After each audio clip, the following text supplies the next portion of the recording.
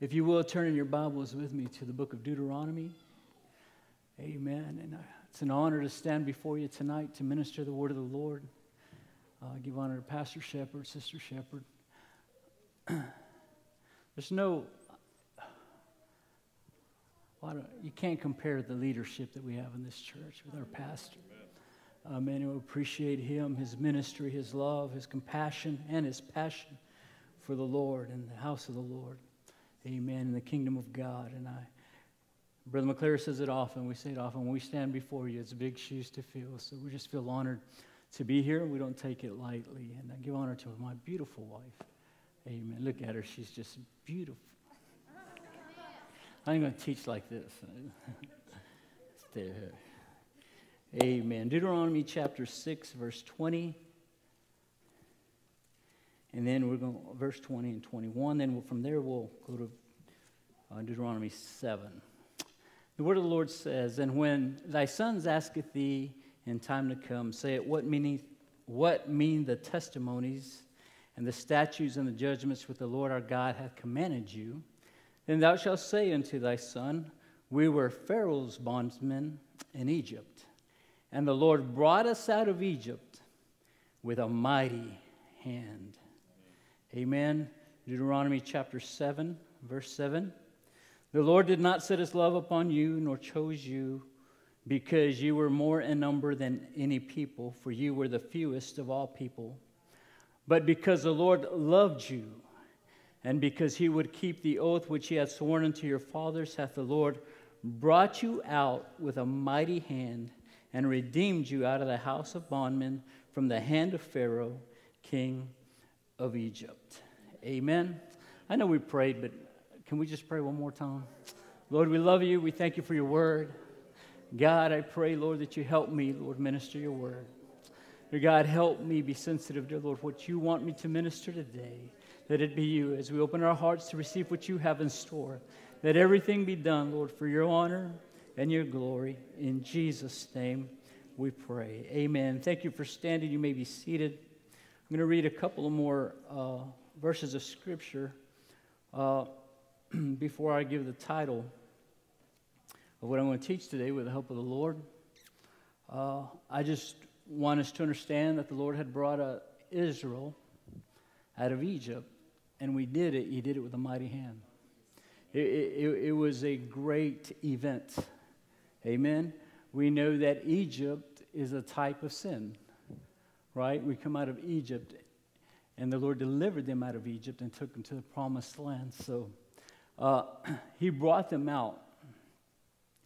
In Exodus chapter 12, verse 37, the Bible says, And the children of Israel journeyed from Ramses to Succoth, about 600,000 on foot that were men, besides children.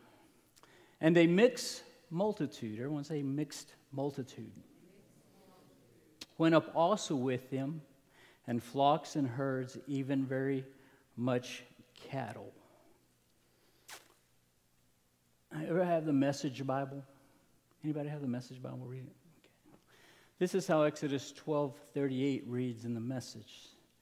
It says, There was also a crowd of riffraff tagging along not to mention the large flocks and herds of livestock. All right, Numbers chapter 11, verse 4. And the mixed multitude, everyone say mixed multitude, that was among them fell a lusting, and the children of, all, of Israel also wept again and said, Who shall give us flesh to eat? We remember the fish which we did eat in Egypt freely the cucumbers and the melons and the leeks and the onions and the garlic. But now our soul is dried away. There is nothing at all beside this manna before our eyes. Now, those scriptures in the message is written like this The riffraff among the people had a craving, and soon they had the people of Israel whining. Why can't we have meat? We ate fish in Egypt and got it free. to say nothing of the cucumbers and melons, the leeks and onions and garlic, but nothing tastes good out here.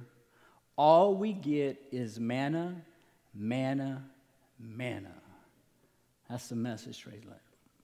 And uh, I want to talk just for a few minutes on the topic of riffraff. Riffraff. You know, the Israelites weren't the only ones that came out of Egypt when God delivered them. They had riffraff with them, they had a mixed multitude. And uh, many commentators use the word riffraff. Uh, if you look it up in the dictionary, I think we know riffraff defined in a free dictionary is defined as people regarded as disreputable and worthless, especially collectively, rubbish, trash. That's groups of people regarded as the lowest class. Other commentators use the word rabble in place of the word mixed multitude. And rabble was defined as a disorderly crowd, socially inferior or uncouth.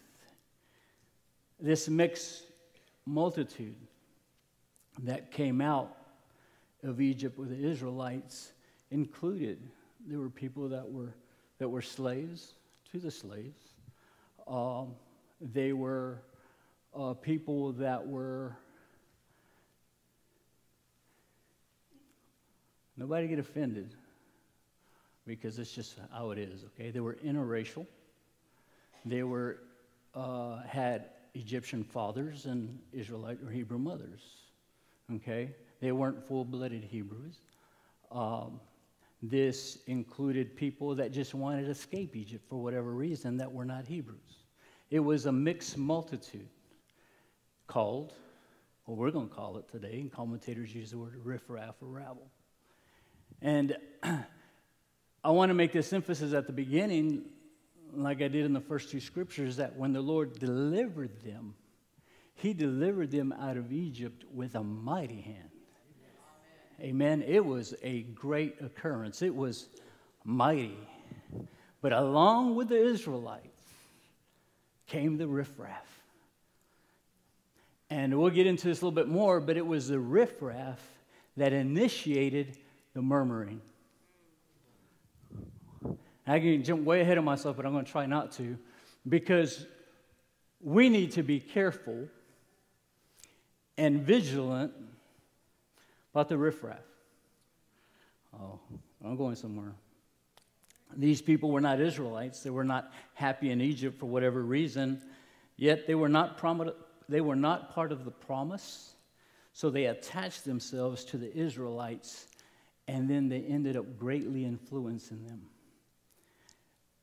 that first expression in Numbers chapter 11 of the unhallowed desire came from the mixed multitude. I think I mentioned it before. They were aliens or half breeds who had come with them, not from faith in God, but from inferior motives. You see, the riffraff had no stake in the promise. Understand? They, they weren't delivered, they were just part of the deliverance. You understand? They were tag alongs. They had no faith in God. They were just looking for a way out of Egypt. The murmuring was initiated by the mixed multitude. It was among the mixed multitude. A great crowd of foreigners who had been neighbors to the Israelites in Egypt came forth with them at the Exodus, moved by one motive and some by another. It is instructive to observe that these were the first to break out into the rebellious murmuring equally instructive to observe that the evil generated amongst them spread from them into the body of the Israelites.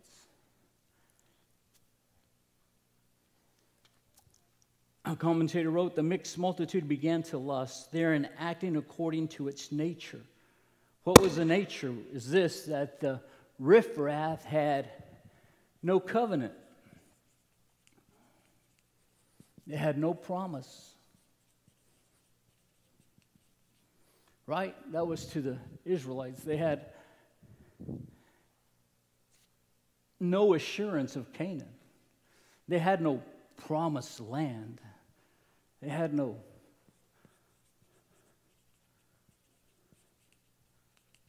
Promised land. They had no light in the tabernacle.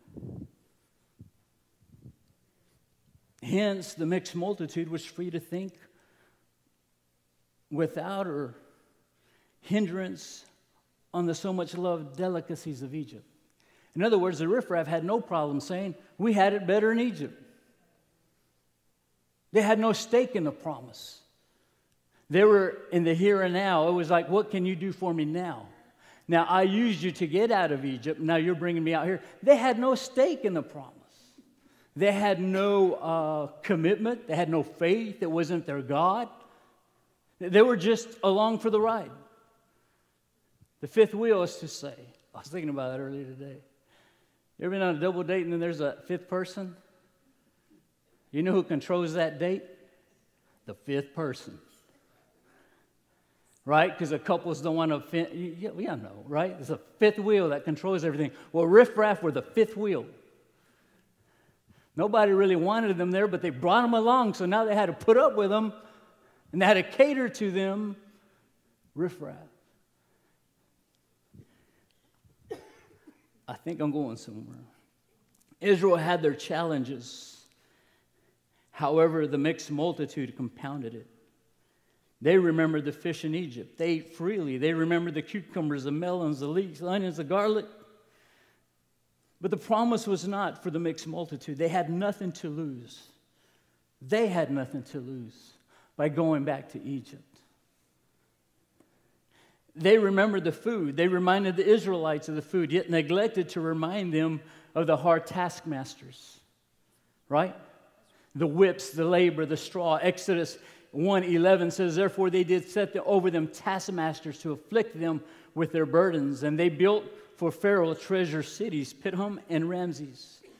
Exodus 3 7 says, And the Lord said, I have surely seen the affliction of my people which are in Egypt, and have heard their cry by reason of their taskmasters, for I know their sorrows. Exodus 5 10 to 13 says, And the taskmasters of the people went out, and their officers, and they spake of the people, saying, Thus saith Pharaoh, I will give you no straw, or I will not give you straw. Go ye Get you straw where ye find it, ye ought not of your work shall be diminished. In other words, I'm not going to give you straw, but your, your commitment to the finished project isn't going to change. Now, Riffraff reminded the Israelites of the, of the delicacies of Egypt, but did not remind them of the torture and the torment that came along with the delicacies. All right, so, what, what's that got to do with us? What's that got to do with this? What does riffraff have to do with us? Is that we've all been delivered out of Egypt. But all of us have riffraff. We all have things that we have with us that came with us as tagalongs. We need to be vigilant and sensitive to the Holy Spirit so that we will not be betrayed by tagalongs that we neglected to leave in Egypt. There are some things that we still want to have and have not totally let go of. Amen? That sometimes dictate how we respond and how we act because we don't want to get rid of our riffraff. God saved me. He filled me with the Holy Ghost. He brought me out. Yet, there's some riffraff in my life sometimes that brings doubt there's riffraff, and we'll talk about this later, that reminds me and tries to tell me I was better off before. Riffraff that'll dictate what you, you think or how you respond. is like that fifth wheel. You've got to cater to it because you never let it go. And it has no stake, it has no commitment to your God. It's not going to lose anything because it's not the one that was saved. It's not the one that's been cleansed. It's not the one that's going to go to heaven or hell. Riffraff. Things that weigh us down, things that hinder us, things that do not allow us to do what we know we need to do. Because we, we felt at the moment, see, some of this riffraff didn't just, uh, they weren't stowaways. They didn't hide in somebody's luggage or in somebody's trunk. Some of these were invited. Hey, we're, we're, we're, we're going out of town. we got a plan. We're going to be. Y'all want to come? You're not having Egypt? Y'all want to come? Oh, yeah, we'll come with you. No promise. The promise wasn't theirs. But they were looking for a, for a way out. I have to be very careful. there are times in our spiritual walk that we will walk in the wilderness, and at times it may feel redundant, but, there, but we are a people of promise. And if we must be in the wilderness for a time. We cannot allow mixed multitudes of riffraff or rabble to influence our walk with God. There are going to be difficult times. There are going to be times that it seems like, here we go again. It's the same oh thing. But we need to keep in mind that we are going to the promised land. There is a reason we walk this way. There is a reason we talk this way. There is a reason we dress this way. There's a reason we praise this way because we are in a journey. And sometimes it is through a wilderness and through a hard time or through a, a very difficult time. We cannot listen to the voices in our mind, in the back of our mind that tells us you were better off in Egypt. You are better off if you just turn around and go back where you came from because it's not as redundant, it's not as boring. It's awesome back there. There are times that you're going to go in our walk with God that we're going to have difficult times, and you're going to wonder, okay, Lord, this isn't part of the study, but Moses got so frustrated with them that he wanted to quit. If you read on in Numbers, he wanted to just, Lord, forget it. Why'd you bring me out with these people? But you see, it wasn't the people, it was the riffraff that was hindering the people. It, it, was those that weren't committed, those that, that just wanted to be along for the ride. Now, listen to me because there is riffraff, and we need to pray that, Lord, don't let me be the riffraff. Don't let me be the one that's talking negative to my brother and my sister. Don't let me be the one that's complaining about the church service being too quiet or too loud or, or I don't like that one preacher, but I like the other one. Don't let me be that riffraff that hinders the progression of the kingdom of God because we are going somewhere. We are advancing in the kingdom of God. We are moving forward. The church is not going to die. The church is not going to turn back around. Don't be the reason that somebody's second guessing themselves. Riffraff. That's why I got to be careful.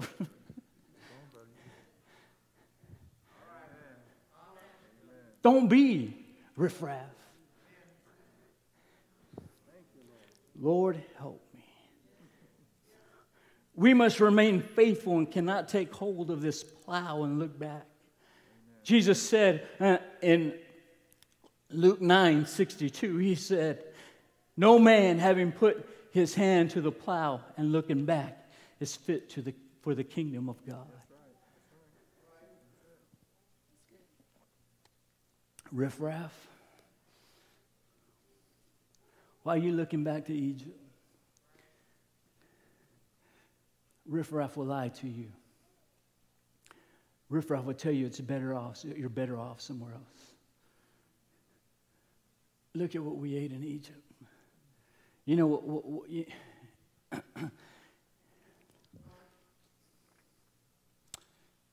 you, you, you know why I can't lose weight?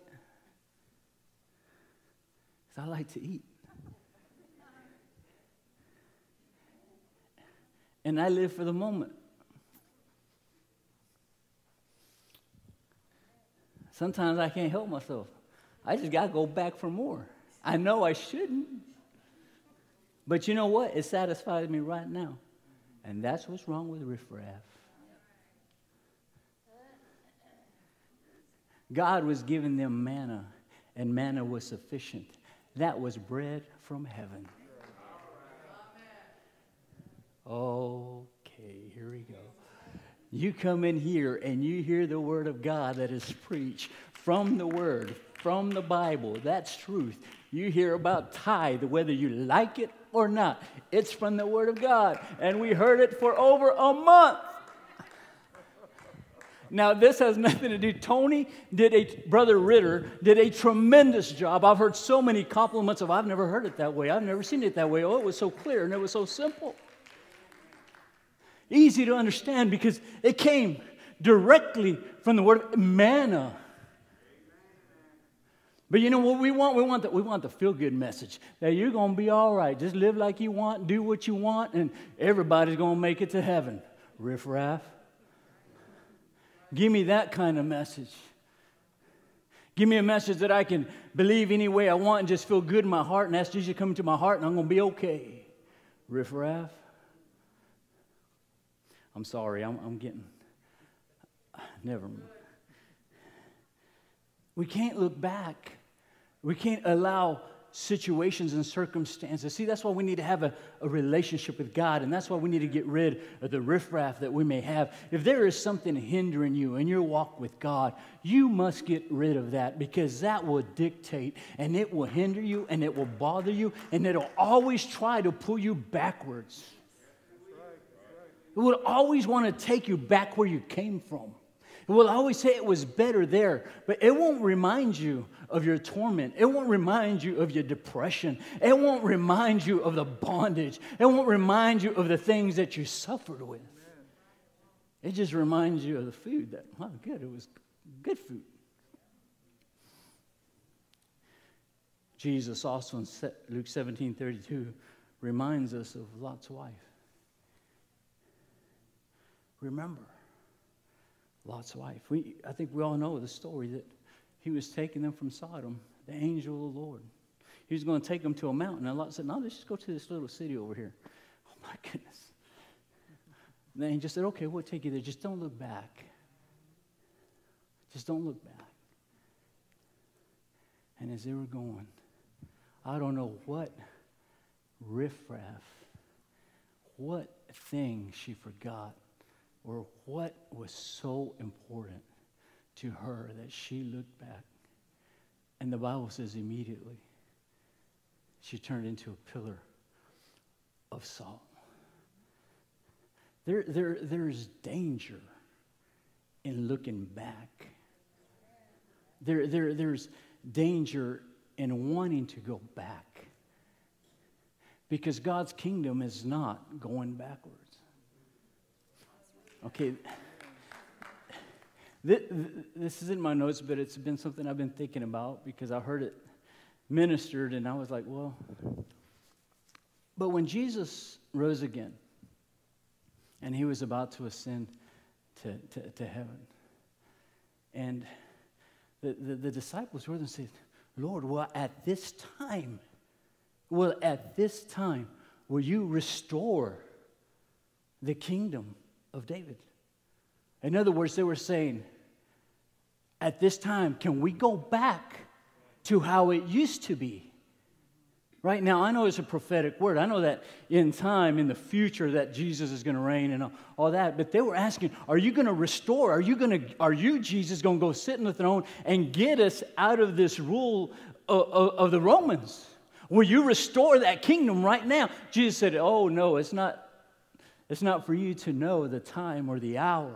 It's not time for you to know. You go up. I got something greater for you.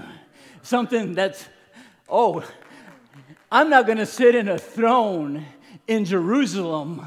I'm going to sit in the throne of your heart.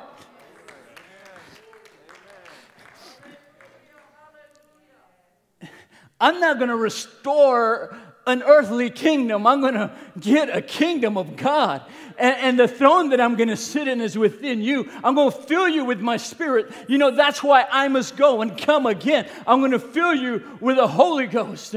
You know, we always want to restore. Oh, can we go back to how it used to be? Well, I, I don't want to go back to how it used to be. Some people say, oh, those were the good old days. Yeah, but I want to go forward to the great new days and the great new things that God is going to do in this kingdom. I'm excited about about the revival that is happening in the Church of Columbus. I am happy about the revival that's going to take place in the end time because I want to be a part of this. But I cannot allow the riffraff to continue to pull me back to, well, it used to be this way, or it was that way, or you're better off that way. No, I want to go to what God has in store. I want to move forward in my relationship with the Lord. Can't let riffraff distract us and hinder us and pull us back and pull us aside. Don't, don't be riffraff. Hmm. The Bible says, therefore, if any man be in Christ, he is a, a new creature. Old things are passed away. Behold, all things are become new. We are a new creation. We're not what we used to be. We've been bought by the precious blood of Jesus Christ. He washed us, cleansed us, and filled us with the Holy Ghost or the Holy Spirit. Also, in the conversion of a sinner, when a person repents, is baptized in the name of Jesus Christ, and filled with the Holy Ghost, there is a change so deep, so clear, so entire, and so abiding that it is proper to say that he is a new creation of God. A work of divine power has decided, and as glorious as when God created things out of nothing. You understand? It is a new creature, a, a new cre- creation. There is no other moral change that takes place on earth so deep and radical and as thorough as a change at salvation. There is nothing that compares it, and it is attributed to the mighty power of God. Hallelujah. There is no change. When you come to God, you are a new creature. A writer wrote it this way He said, The man is not only mended, but he is made new. He is a new creature, a new creation, a little world of himself formerly. All that was in chaotic disorder, now there is a new creation which God himself owns as his workmanship, which he can look on and pronounce very good. You are a new creature. Romans 12, 2 says, And be not conformed to this world, but be transformed by the renewing of your mind, that you may prove that which is a good and acceptable and perfect will of God. The word renovation or renewing means to renovate.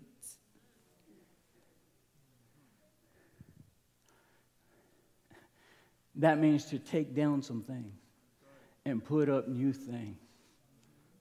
Amen. That is to take up old carpet and lay a new floor. That means taking down old pictures and putting up new pictures. That means getting rid of some riffraff and putting up something new. Because that's what it is about being a new creature. We are saved. God brings us out of Egypt with a mighty hand. And I, Peter writes it so nicely in 1 Peter 2 9 said, But ye are a chosen generation, a royal priesthood, an holy nation, a peculiar people, that you should show forth the praises of him who hath called you out of darkness into his marvelous light, in which time past were not a people, but are now the people of God, the people of God, which had not obtained mercy, but now have obtained mercy. But sometimes, all the time, Egypt wants to hang on. The riffraff begins to murmur and complain. We got to get rid of riffraff.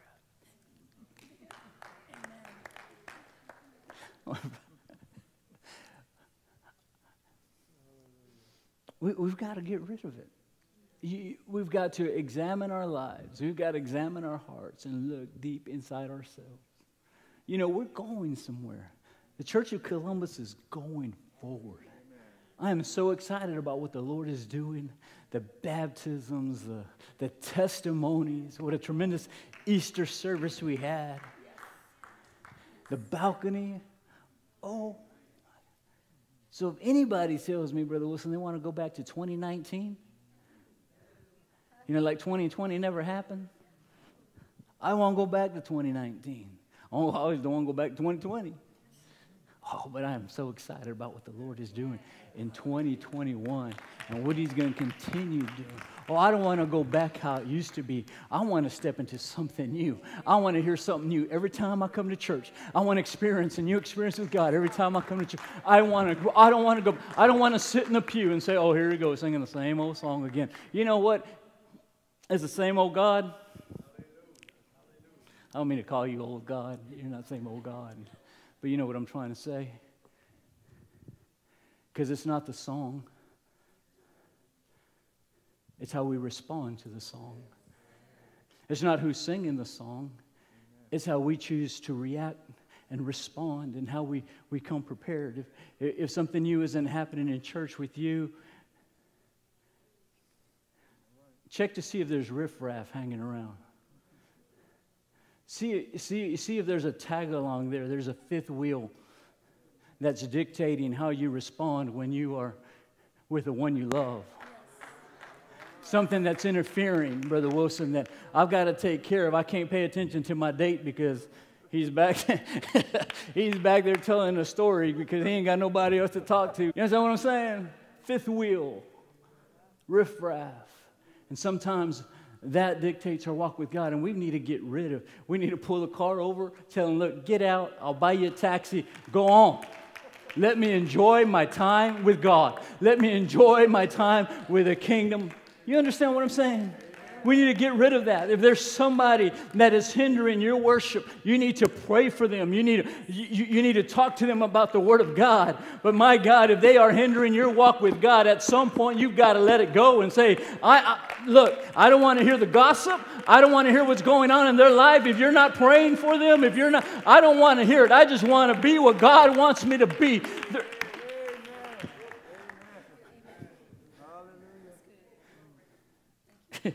Oh, Lord, help me, Jesus. Let me see where we go. Hebrews chapter 12, verse 1 says, Wherefore, seeing that we are also compassed about with so great a cloud of witness, let us lay aside every weight and the sin which so easily beset us. That word is to thwart, thwart. I can't even say that word a runner. Let me see. I got to feel comfortable. Justin. Initiation. No, because just slightly, I just want you to slightly jog, like from this over here to those over there. Just slightly jog, see? Because beset does this to you. This is what, that's what beset, that's what the sins do to you. It's not going to let you. You hear me? It's not going to, this way, bro.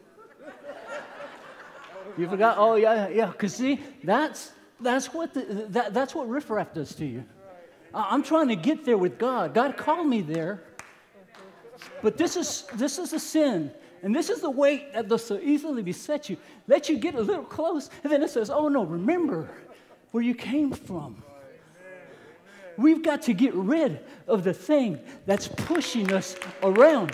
We need to get rid of the thing that won't let us be the Sunday school teacher. We need to get rid of the thing that will not allow us to go to the altar. We need to get rid of the thing that won't allow us, thank you, that will not allow us to answer the call that God's placed in our heart that we know we ought to be doing. We've got to get rid of the riffraff but I'm saved. I'm filled with the Holy Ghost. God brought me out with a mighty hand. Oh, yes, He did. But there are some things that we brought along that we should have left in Egypt, and now we're having to deal with them. That it is time as a church that we get rid of them so that we can be what God has called us to be. There are some of us that are sitting in the pew that ought to be singing in the choir. There's some of us that are here in church that ought to be teaching the Sunday school class.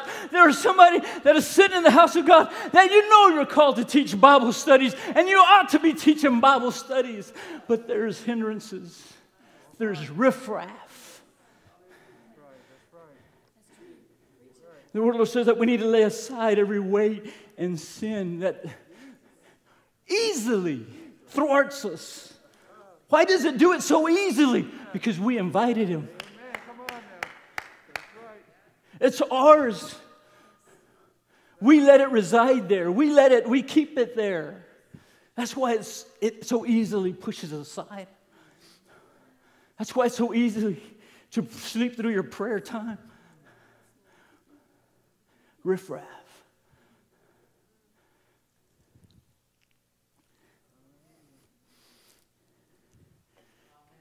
Sins that so easily beset us, weights that hinder us, we must find a place to repent for allowing riffraff to dictate our walk, to manipulate our praise, to control our worship, and to try to get us to go back to Egypt. I want to tell you tonight it is not better in Egypt. It is not better where you came from. In Egypt, we paid the price. In God's kingdom, He paid the price.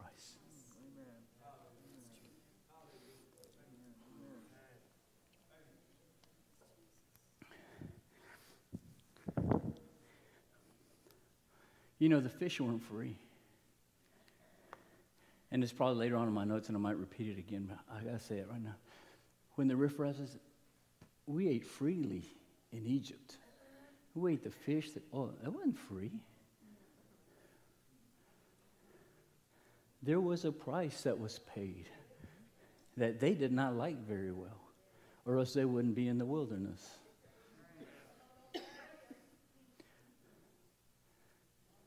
And things would tell you, you're better. No, you're not. You're not better in Egypt.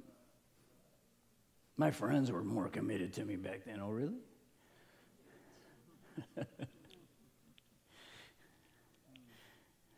God is doing great things. Do not allow the riffraff to keep you from being a part of what God's doing in this church.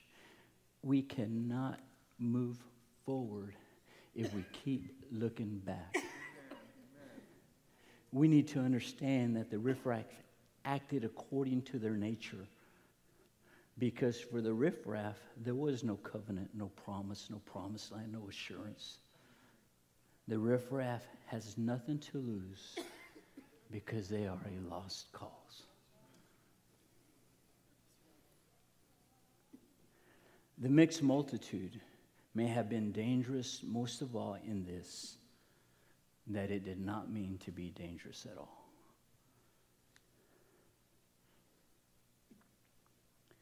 After all, they were invited.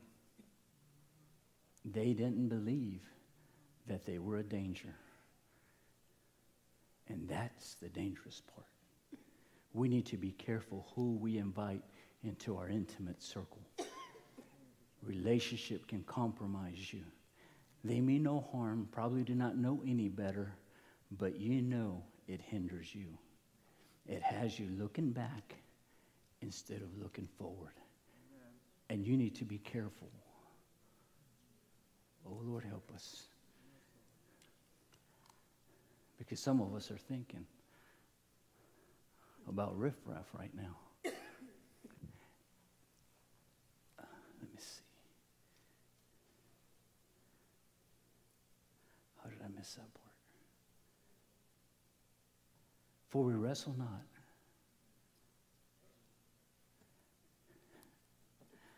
Okay, because some of us are thinking, well, sister so and so and brother so and so, that's riffraff right there. Before you start looking and pointing fingers and stuff, we wrestle not against flesh and blood, but against principalities and powers. There are spirits that would hinder us. That's why so often, sometimes, so often, sometimes, does that even make sense? So often, sometimes, so often, sometimes, I ask us to pray for one another. And sometimes you ought to go pray for somebody you don't want to go pray for.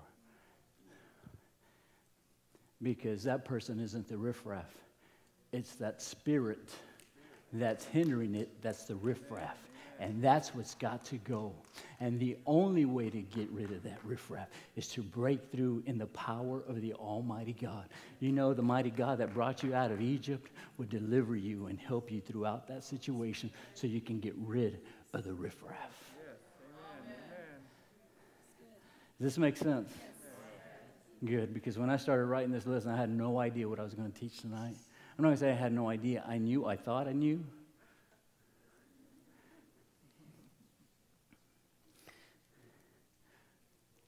Oh, where was I? 2 Timothy 2.22 says this, and we always talk to young people about this, but this is for just us that are old. Why are you laughing? Because I call myself up. Flee also youthful lust. Sometimes we stop there, right? But follow, pursue. Well, how? This is where you, you, you flee those things that want to take you back, but then you follow. Well, what do I follow? Where do I go? Where do I look? What gets me from there to there? You follow righteousness, faith, charity, peace with them that call on the Lord out of a pure heart. But you cannot follow those things if you're constantly looking back. That word follow in the Greek means to pursue, chase righteousness. What else can I do? Chase faith, try your faith, chase it, pursue it. Charity, there is agape, agape love. You love like God loves. 2 Corinthians 14 says, While we look not at the things which are seen, but at the things which are not seen, for the things which are seen are temporal. Egypt is temporal. You see, because you can see Egypt. Can't see the kingdom yet because that's eternal. Okay, you got that? Don't be looking back. Be looking. That's why faith is one of those things. Why is, it, why, why is faith one of those things? Because I go after I something after I can't see. Let's all stand together. Sister Richards taught on this the other day. Philip, Philip, Philippians 3, 13 and 14. Brethren, I count not myself to have apprehended, but this thing I do, forgetting those things which are behind and reaching forward to those things which are before. I press toward the mark for the prize of the high calling of God in Christ Jesus. I want to challenge you today to get rid of the riffraff. Not your brother, your sister, I'm talking about, but the spirits that would hinder those relationships. The things in your life that hinder your walk with God. Pastor Shepard uses the, the illustration of that old muddy boot that the you know, the enemy would draw it and just let it drip at the tip of your nose. You know, but sometimes it's not that muddy boot, it's the thing you have in your pocket yes. that you need to get rid of. you see what I'm saying? Is that thing that you brought with you to the altar, not the thing that the enemy's fishing out, that you've got to repent of and give it to God and say, God, this has kept me from going 100%. This is the thing that hinders me, and I need to give it back to you. I need to get rid of it. It's riffraff in my life. Brought me out with a mighty hand, and I held on to some riffraff. And it's time that if we want to progress and want to grow in our kingdom and in our relationship with God, that you recognize what that riffraff is and let it go. Let it go back to Egypt. Let it go back where it wants to go as you walk forward in the kingdom of God. Amen. Let's go before the Lord in prayer. Lord, I pray that you help us, God, in our pursuit, dear God, of you. That you help us look at ourselves and acknowledge, dear Lord, our life and our heart and our mind. Help us, Lord, to get rid, dear Lord, of hindrances, those things, dear God, that come up against us. Help us be positive. Help us, Lord, have a attitude of gratitude, dear Lord Jesus. Dear Lord, forgive us, oh God, for carrying things that would hinder our walk with you, things that would want to turn us back, dear God, to Egypt. Dear Lord, take them from us, dear Lord, as we commit ourselves to you. Help us grow, dear Lord, in you each and every day. Help this church, dear God, as we progress and as we grow and move forward. Help us all to be a part of what is going good in the kingdom of God. Lord, we love you and we thank you for you are mighty God. In Jesus' name we pray. Amen.